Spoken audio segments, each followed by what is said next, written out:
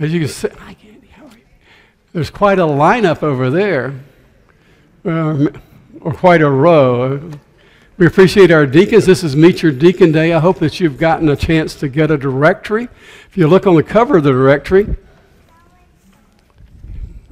you'll see this is our youth group, and uh, this is one. Uh, you have to talk to Paul about what they were doing. They were doing. What a great youth group, and we were glad to put them on the cover. And they are always most interesting, right, Turner? Right, exactly.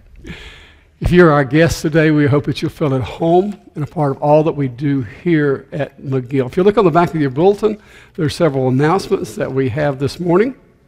First of all, as I said, welcome. Judy Jones is our deacon of the week. She'll be reading the Old Testament scripture lesson from Numbers. It's a really interesting passage. Let's go straight to uh, blood. Donna, you want to go do blood? Got distracted. I just wanted to remind you that our blood drive is tomorrow night, 4 until 7 o'clock. Here at the church, it'll be in Bruce's Sunday school class and right beside of the kitchen. And uh, you can sign up at the back table, but if you don't sign up, you can still come and give blood. We, they still accept it. And um, again, it's from 4 to 7 tomorrow night.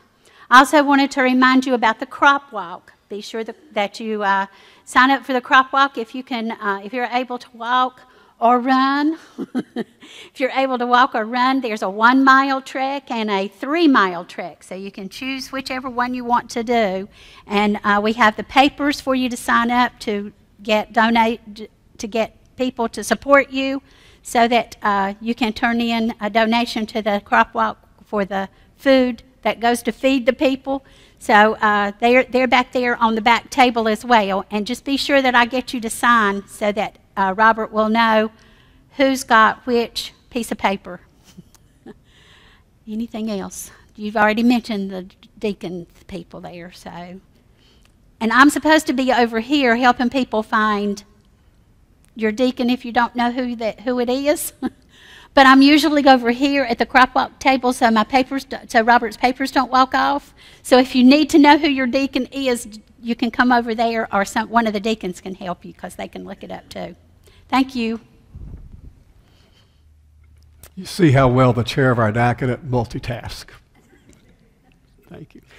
As many of you know, I just got, I got back from Princeton yesterday, and it was a wonderful trip. I appreciated the opportunity of being up there. It was a 590 mile trip.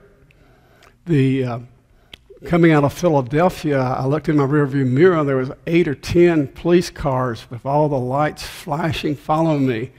I just got ahead of the mayor coming to meet the Pope with the Air Force. I was thankful. but of all that trip, you know the worst part of the road? Right here when we got into Cabarrus County once I got to, uh, once I got to Cabarrus County, uh, once I got to 85 over there, I, I, got stuck for I don't know how long, just waiting and waiting and waiting. I said, ah, but it was it was a great trip. Reminded me that when I was at Princeton as a student, I told one of my friends, I said, you know, I'm from North Carolina, and North Carolina is God's country. He looked at me and said, yeah, he's the only one to live there too, right? but it's good to be back home. Um, it reminded me of the crop walk, uh, as, as, Donna alluded to. Uh, I'm going to make it a crop run. So if anybody wants to run with me, we're going to run the three miles and then we're going to do the one mile. So that makes a nice four mile run, about a 6K, six and a half K. So, but don't run with Paul, he's too fast. Run with me, I'm slow. But we, will have fun together. It's a great time. Children Council will meet Wednesday at 6, so be a part of that. The Marys and Marthas will meet on October the 8th at 6.30. You're going to bring that up. Tracy, our parish nurse, is going to double, double dip. Part of the reason is because we're going to do, whenever we have the meeting on October the 8th, um, it's a potluck supper, and we're going to ask you to sign up for some, whatever you want to bring. But while we're doing that, we're going to be making these blankets, and Jordan made a sample of this blanket. Um, it's a prayer blanket. And what we're going to do with these prayer blankets is we're going to take them out to our shut ins. Um, and we're going to make these blankets say a prayer with them, um, and there's a little verse that goes with them, and we're going to then we're going to take these out to our shut-ins, and it's a really nice ministry that we have that we want to provide for our people. Um, so if you can join us, please come out on Thursday, October the 8th at 6:30. We'll have a nice uh, potluck supper. We'll have some fellowship, make these power, power prayer blankets, and then we'll get them out to our shut-ins. Thank you. You want to say anything about the uh, mammography unit, the success? I don't know what the total numbers are, but we had a wonderful um, uh, mobile mammography um, thing. Um, I want to thank everybody who got their mammograms on then. Um, If you hadn't, you can always call the hospital and get one scheduled. Because we want to make that, a- we want to make sure everybody gets those. I told the preacher this morning I was working on something for men in November, and he said, I don't know about that. She said we could grow a beard. I'll take that. All right, crop walk we've done. Uh, if you need offering envelopes, please see Patsy. Uh, we need help in the nursery. See Jordan and Melinda. We are so glad that you are here this day. You are not. Um, it's raining. Uh, I, I'm sure you figured that out by now. I said usually in a Baptist church it takes three or four feet of water to get you in. Oh wait, I knew it. You want me to do the rain thing first? All right. Takes three or four feet of rain to get you in, water to get you in, six raindrops and one snowflake to keep you out. We're glad you're here. Jamie had a wonderful group last night at UNCC for the first uh, Under the Lights game. So we had 35 last night, which was wonderful. Um, we had a lot of new people, so thank you for everybody who came out, um, especially the new people. Hope we didn't scare you away. We had a really good time. The bus was actually full minus one seat. That's the most people we've had on the bus, so that was wonderful. Um, and we had so much fun. We're doing it again Friday night. So um, I know there's a lot of transportation issues because the bus is going to leave at 3:30, which is a Friday, and people are working. Um, but if we need to set up some carpools and figure out how to get people there with parking passes, we can do that. Just let me know if you're going to need a parking pass as soon as you know. I just have to request those. And we look forward to seeing you guys there and seeing new faces this time. Thanks. That'll be the first Friday night game ever at UNCC. So come on out and help us do the concession stand there. Paul and Donna celebrated an anniversary, a wedding anniversary yesterday, so congratulate them.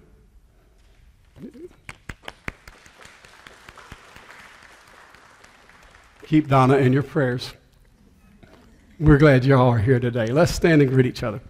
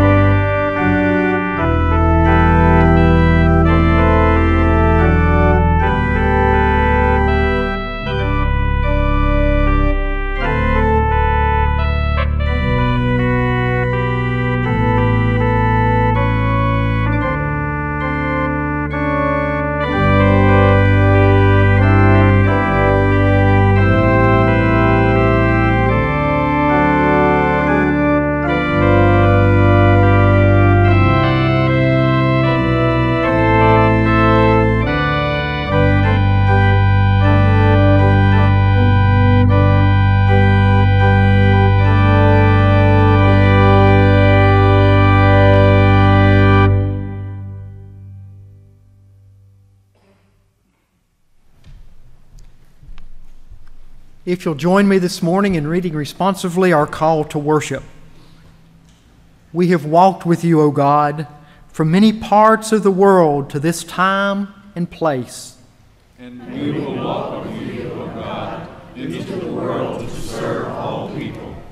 We leave behind old securities. We leave behind our reliance on worldly goods. And we will walk with you, O God, into the world to live all people. We leave behind all which holds us back. We leave behind all which keeps us from following you. And we will walk with you, O God, into the world to work with all people. We leave behind the fears which bind us. We leave behind the hurts, hurts which damage us. And we will walk with you, O God, into the peace you offer to all people. Amen. May we join now in singing hymn number 161, Crown Him with Many Crowns. Let's stand, please, as we sing hymn 161.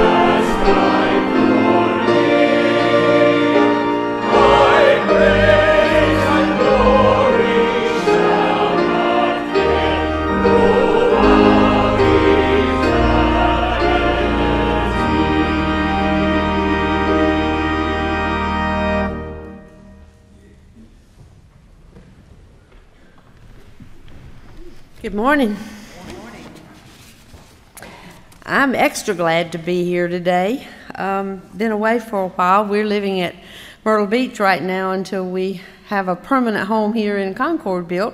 So every chance I get to come home, it's good to see all of you. This morning I'm going to be reading from the New Revised Standard Version, Numbers 11, 4 through 6, 10 through 16, and 24 through 29. The rabble among them had a strong craving, and the Israelites also wept again and said, If only we had meat to eat. We remember the fish we used to eat in Egypt for nothing the cucumbers, the melons, the leeks, the onions, and the garlic. But now our strength is dried up, and there is nothing at all but this manna to look at. Moses heard the people weeping throughout their families, all at the entrances of their tents. Then the Lord became very angry, and Moses was displeased. So Moses said to the Lord, Why have you treated your servant so badly? Why have I not found favor in your sight, that you lay the burden of all these people on me? Did I conceive all these people? Did I give birth to them? That you should say to me, Carry them in your bosom, as a nurse carries a suckling child to the land that you promised on oath to their ancestors. Where am I to get meat to give to all this people? For they come weeping to me and say, Give us meat to eat. I am not able to carry all this people alone, for they are too heavy for me. If this is the way you're going to treat me, put me to death at once. If I have found favor in your sight, and do not let me see my misery. So the Lord said to Moses, Gather for me seventy of the elders of Israel, whom you know to be the elders of the people and officers over them. Bring them to the tent of meeting, and have them take their place there with you. So Moses went out and told the people the words of the Lord. And he gathered seventy elders of the people and placed them all around the tent. Then the Lord came down in the cloud and spoke to him, and took some of the Spirit that was on him, and put it on the seventy elders. And when the Spirit rested upon them, they prophesied. But they did not do so again. Two men remained in the camp, one named Eldad and the other named Medad, and the Spirit rested on them. They were among those registered, but they had not gone out to the tent, and so they prophesied in the camp. And a young man ran and told Moses, Eldad and Medad are prophesying in the camp. And Joshua, son of Nun, the assistant of Moses, one of his chosen men, said, my Lord, Moses, stop them. But Moses said to him, Are you jealous for my sake? Would that all the Lord's people were prophets, and that the Lord would put the Spirit on them. Pray with me, please.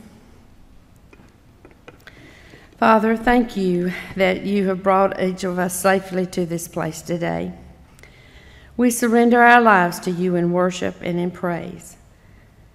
As we gather, we remember those who are not with us today for all the reasons that they may have. If there be sickness, we pray that you will have healing upon them.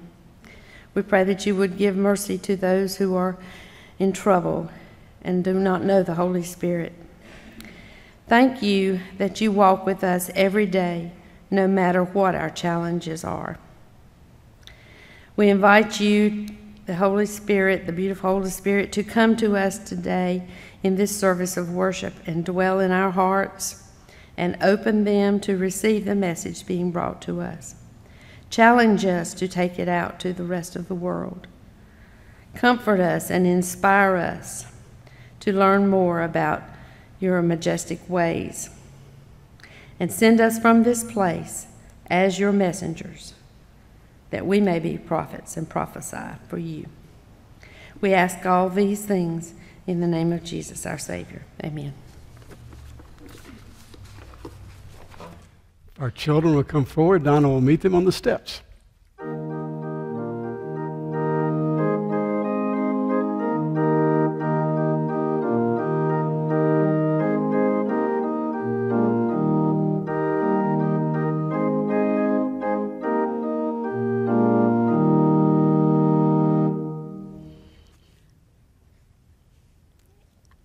Glad y'all came forward. I thought there for a minute I was going to be the only one.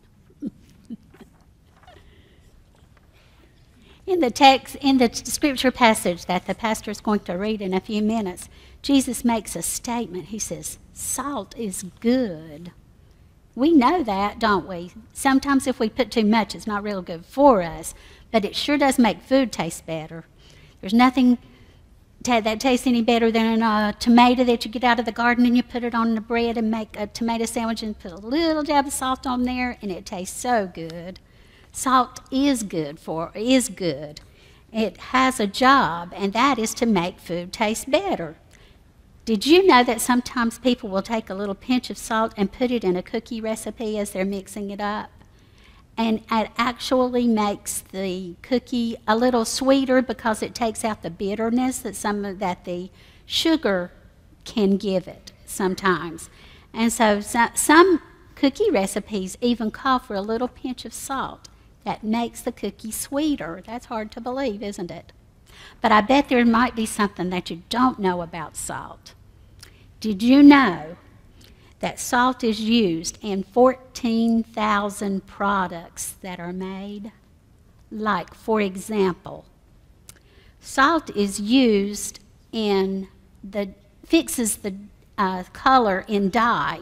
Like when, like you've got on a brightly colored shirt, and she has on like pink, and uh, mine's brown, hers is blue salt was put in the dye that was used to make the, the uh, designs on those shirts to fix it there so that it wouldn't fade as quickly.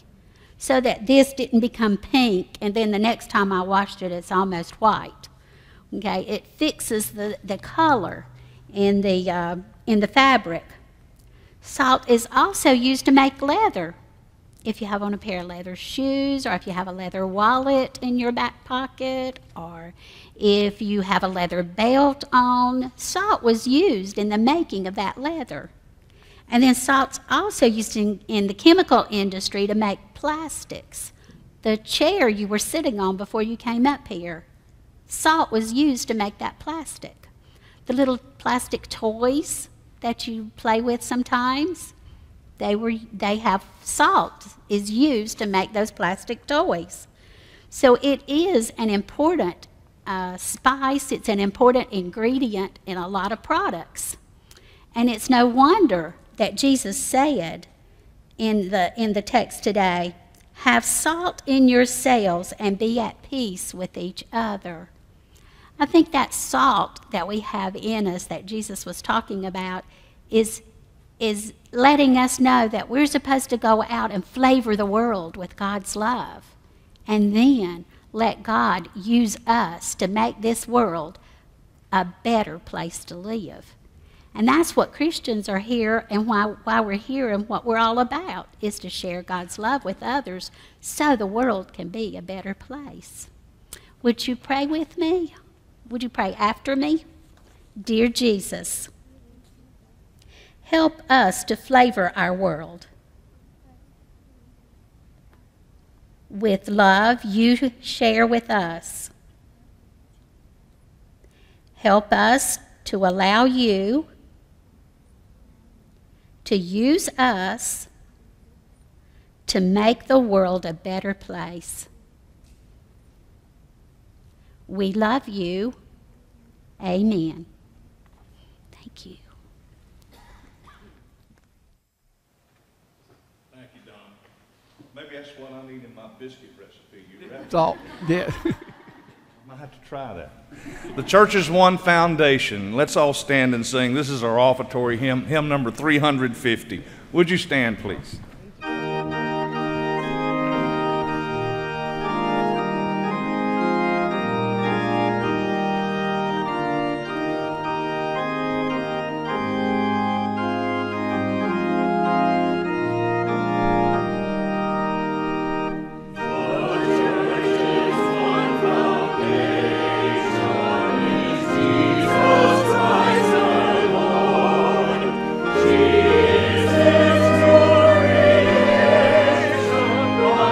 Spirit.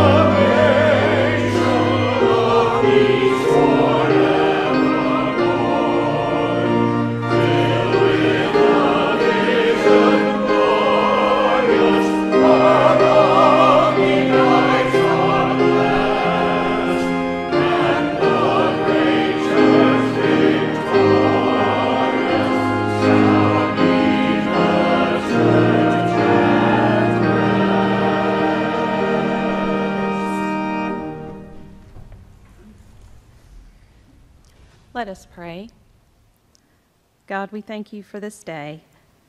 We come to you today with grateful hearts, grateful for McGill Baptist Church, for our church staff and leaders, and for our church family. We're especially thankful for the freedom to be able to come together and worship you as a community of believers. And now at this time, we bring to you our tithes and our offerings. We ask you to bless them and multiply them for the benefit of your kingdom. Be with us each day and help all that we do and think and say bring honor and glory to your holy name. It's in your name we pray. Amen.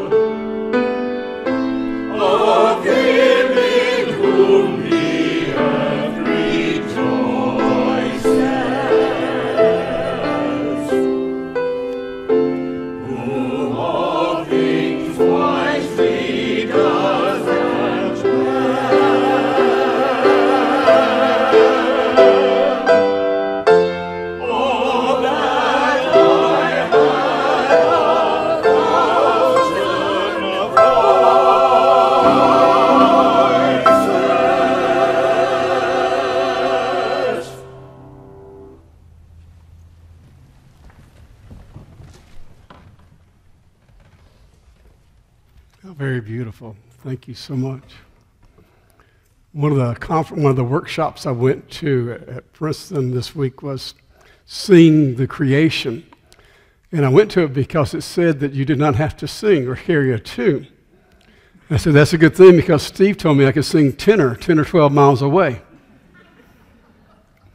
We were sitting there, and it really was a wonderful, uh, talking about all the hymns and music written about the creation and the soil and everything. And uh, I looked at the guy beside me and said, You know, this is the first time uh, I never made it to this building, uh, the music building, when, when I was at school here. He said, Probably not. It wasn't built when you were here.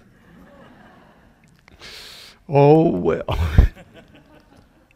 Our New Testament lesson comes from Mark. Mark 9, verses 38 through 50, and indeed, as our custom, I'll be reading from the New Revised Standard.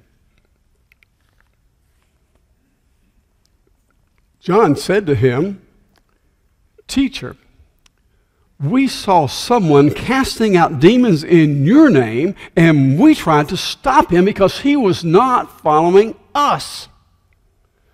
But Jesus said to him, them, Do not stop him, for no one who does a deed of power in my name will be able soon afterward to speak evil of me. Whoever is not against us is for us. For truly I tell you, whoever gives a cup of water to drink because you bear the name of Christ will by no means lose the reward. If any of you put a stumbling block before one of these little ones who believe in me, it would be better for you if a great millstone were hung around your neck and you were thrown into the sea. If your hand causes you to stumble, cut it off.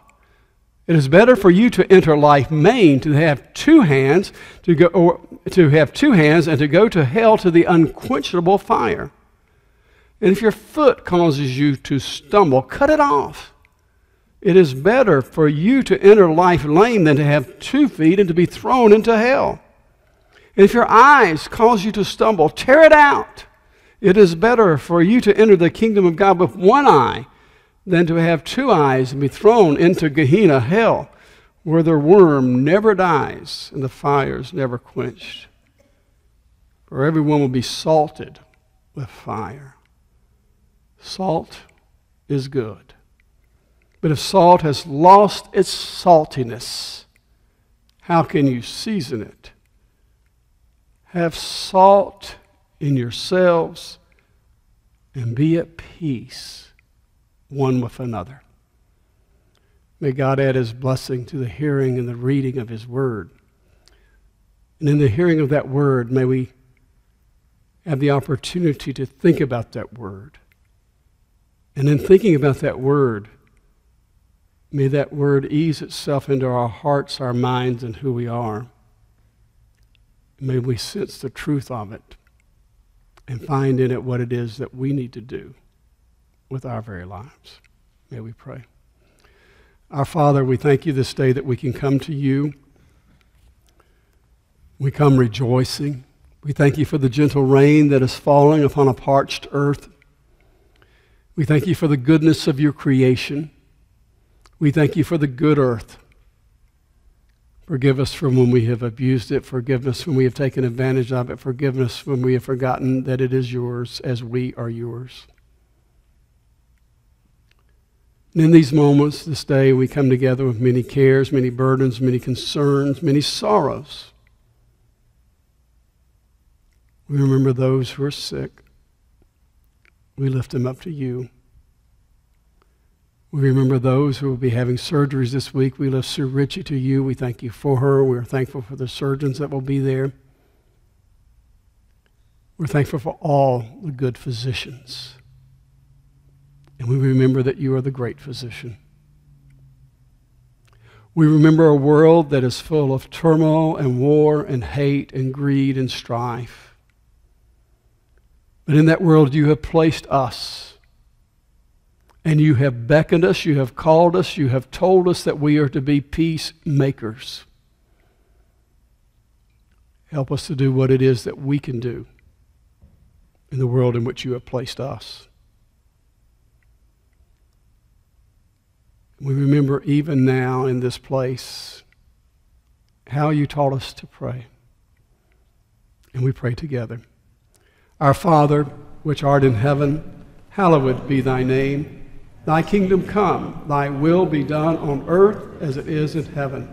Give us this day our daily bread, and forgive us our debts as we forgive our debtors.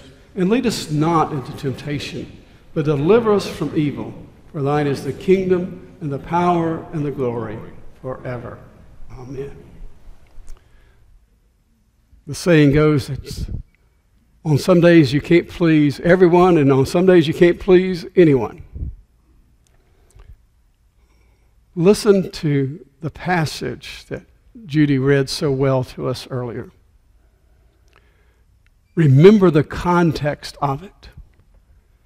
The people had been serving in slavery. They had been serving a Pharaoh who was not benevolent. And the backs of the pyramids, the backs of the cities, the backs of all that were being built upon them.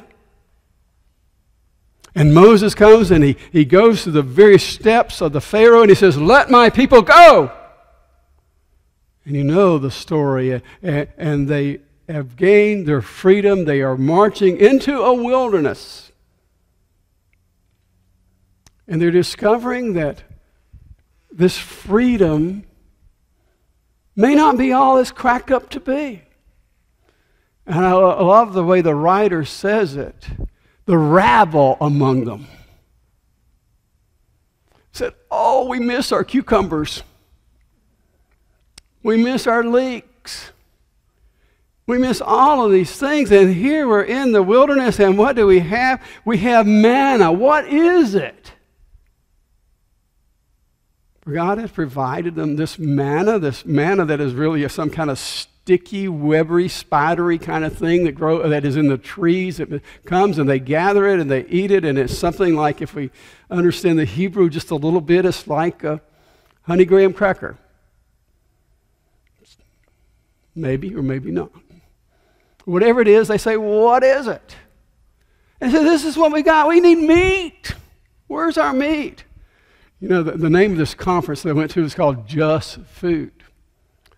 Ooh, I should have read that a little more carefully. Guess what kind of food we had?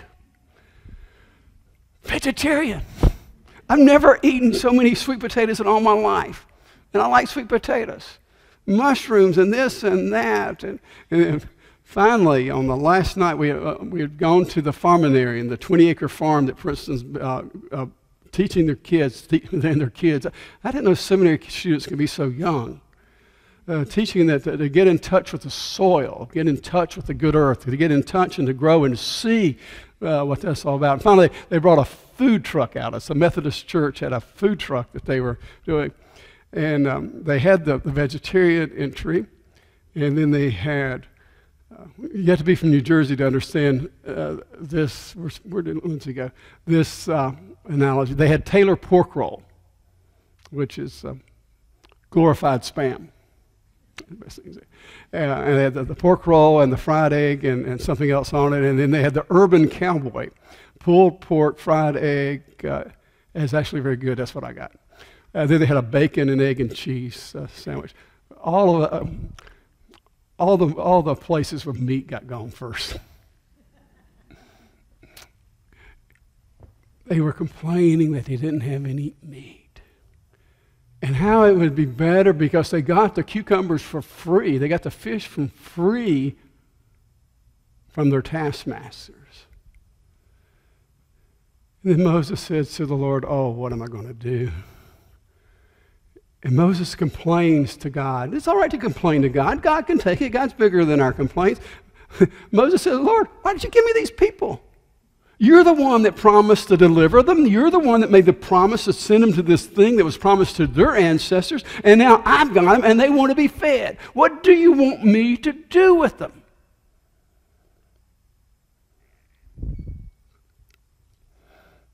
God says, Well, gather together 70 of the elders, get them together.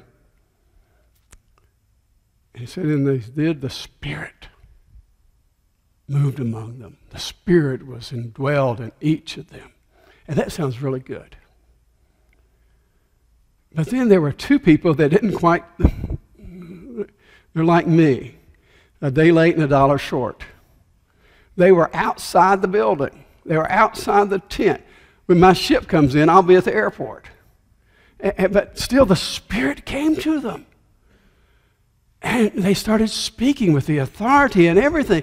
But some people said, wait, that's not right. That's not right. They can't do this. And, they said, some people are speaking out here. Uh, and, and, they brought them to Moses and, and, Joshua, son of Nun. I love that, son of Nun. Don't let, and really I think it's more like this, not my Lord Moses. My Lord Moses, what are you doing? Why are you letting them do that? That can't be. They're not do you remember uh, old brother Arthur? They aren't bona fide. This cannot be. Fast forward. Jesus, remember from last week, Jesus has set his face to Jerusalem. Jesus is telling his disciples some of the most important things in the world that matter. Jesus is trying to make sure they know their priorities, they understand what's happening, they understand these things, and they're worried about who's the greatest. And now they come to him, John comes to him and says, There's this guy out there who is casting out demons, and he's doing these things, and he's doing it in your name. This cannot be. We cannot allow it. He is not bona fide. He has no credentials. Who does he think he is? And then Jesus. Jesus understands so fully how his disciples are not getting it. And he says, anyone who does something in my name, if he's not against us, he's for us. If he's doing something in my name, that's good. And then he says, eh, eh, eh, and he says in some of the strongest language that he will use, if anyone will keep the little ones we talked last week about that passage, and it was somewhat about a child. But the little one bears much more meaning than that. And the meaning that it does bear will explain a little bit more about what follows. Little ones is a euphemism for those that have little voice. Little ones is a euphemism for the widows. It is a euphemism for the lame. It is a euphemism for the blind. It is the euphemism that somehow in life has treated them such that they are handicapped for whatever reason, in whatever way. And Jesus says anyone that would keep one of the little ones, anyone who would keep those away from me, it is better for them to have a millstone put around their neck and tossed into the sea that's not how they teach swimming at the Y. You sink. And then he says, let them cut off your hand, let them pluck your eye out, let them chop your foot off. He's using uh, Arabic exaggeration for sure. The sad part about this scripture is too often, even in our society, in our culture, I remember even the time when I was a student at Princeton, there was this university student who was at the hospital because he had read this and he had chopped part of his hand off. That's not what the scripture means. I can tell you that for sure. He says it is better to do that than go into Gehenna. Gehenna, hell. Gehenna is the valley right outside of Jerusalem.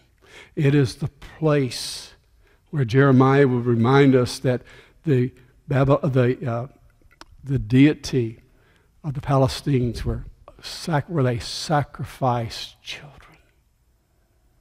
It is the most abhorrent place in the kingdom, and the memory lives on.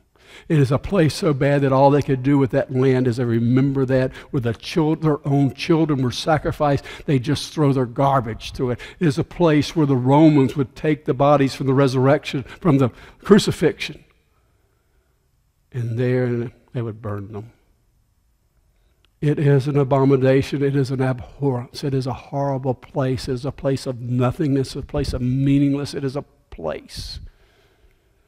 He says it is better for you who think you know everything. is it better for you to understand. Because if you Think about what it would be without a hand. If you think about what it would be without an eye, if you think about what it would be a foot, then you would understand the little ones. Then you would understand something of what it means to be in the kingdom of God. Then you would give them a voice, and you would be even more than giving the voice, you would raise your voice with them. And you would understand the things that are truly important. And here you're worried about who is one of us. You're worried about who is going to speak in my name. You're wondering about your credentials. You're wondering about this. And it's sort of interesting because this happens, it happens when the disciples remember that Jesus had went up to the mountain and came back, and they could not heal a man with possession that was possessed. And yet here is this person who has done that and more. And it bothers them. Envy will always bother you. And when you're envious, what do you do? You have to make yourself better. You have to start shutting others out because you are better, and this is the sin of the church. This is the sin of the church when the church thinks it is a citadel, when the church thinks it is a fortress, when the church builds all the walls up to protect itself from the world. This is the opposite of what Jesus wants his people to do. We are not gatekeepers. We are not wall builders. It is not what separates us that matters, it is what brings us together. It is what makes us uniquely aware that we are all God's children. We're all His creation, and we need to take care of each other, the little ones and the great ones, and everyone else in between. And they all have a place. There is no one who can keep anyone out of God's kingdom. That is not our task. That is not our purpose. That is not what we do. Our task and purpose is simple and clear and clean. Open our hearts, open our lives, open our places to all. This is what it means. And he says, then you're the salt. The salt is also used for sacrifice, although I think it could work in your biscuits because your biscuits are sacrificial.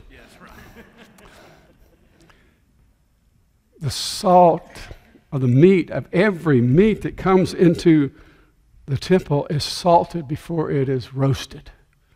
And it brings it out. And he says, But if the salt has lost its saltiness, it's no good. He says, If God's people have lost their willingness to be a season, to be a flavor, to be open to God's Spirit, it was, we're no good.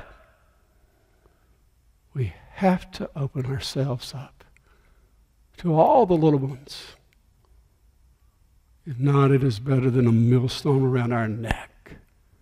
And our lives is wasted in Gehenna.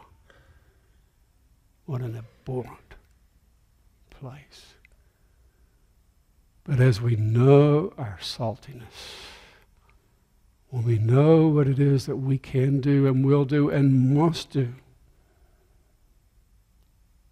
then we will have the peace,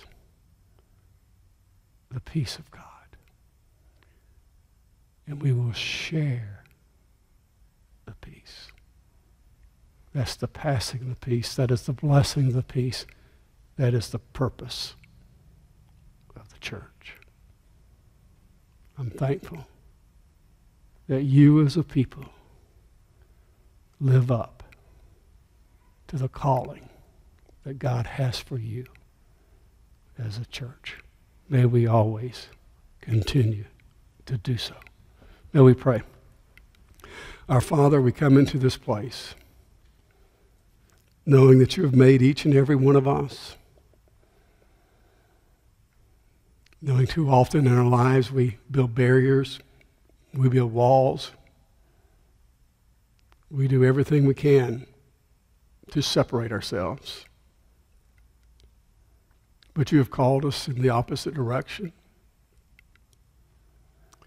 You have called us to tear down the hostilities. You have called us to tear down the things that keep us apart. You have called us to be one. One in your love, one in your spirit, one in your presence. You have called us not to keep out, but to bring in. You've called us not to shut our fists, but to open our arms. You have called us not to close our minds, but to open them. You have called us to be your children. Oh Lord, may we know it, may we believe it, and may we live it. In your name we do pray. Amen. Our hymn of invitation is hymn number 346. He has the whole world in his hand. He's got the whole world in his hands. And when we remember that, we remember who we are and our place in it. And we remember what it is that we need to do.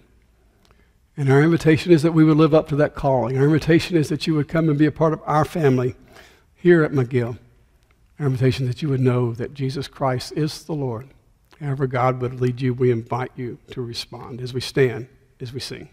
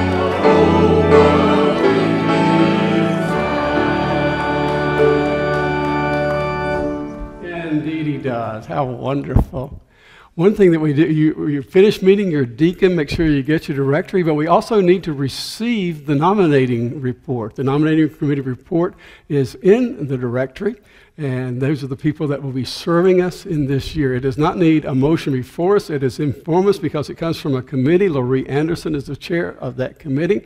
So that is before you. It needs not a second, it just needs your approval.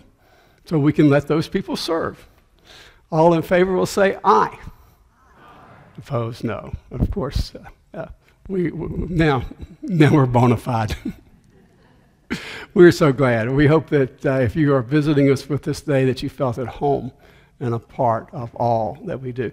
Uh, Phil Herndon's birthday was yesterday. He's getting to be an old man, so you might want to tell him happy birthday yesterday. So, any other birthdays? Everybody good? Any other announcements? Indeed, He has the whole world in His hands. He has you, and He has me, He has our neighbor. May we go and find our neighbor. May we go and serve our neighbor. May we go flavor this world as we go in the name of the one who has called us, who has loved us, who has made us. In the name of the Father, in the name of the Son, in the name of the Spirit.